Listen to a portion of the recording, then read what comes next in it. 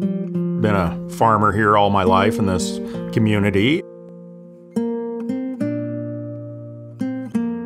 We started working with FHR uh, right after they acquired uh, this ethanol plant. They're our best market for corn in the area, and they definitely help a farmer obtain that maximum dollar for his grain that he's marketing. One thing I really like about FHR is their support of our community. To keep these small towns viable, you definitely got to have jobs here. By using this resource that we have here, we're just helping our small community grow.